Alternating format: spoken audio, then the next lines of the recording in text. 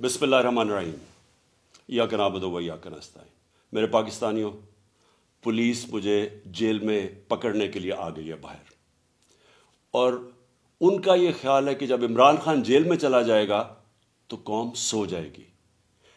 आपने इनको गलत साबित करना है। आपने ये साबित करना है कि ज़िंदा कौम है।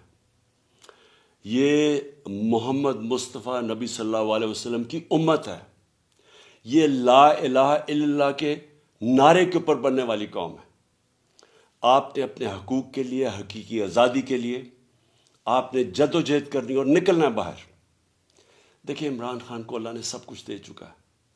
मैं आपकी ये जंग लड़ रहा हूँ। मैं तो अपनी सारी ज़िंदगी जंग लड़ी और लड़ता रहूँगा। लेकिन अगर मुझे कुछ होता है या जेल में जाता हूँ, या मार देते हैं तो आपने ये साबित करना है कि इमरान खान के बगैर भी ये कौम जदोजहद करेगी और ये बदतरीन गुलामी इन चोरों की और ये जो एक आदमी फैसले कर रहा है इस मुल्क के, ये कभी आप कबूल नहीं करेंगे। पाकिस्तान जिंदाबाद।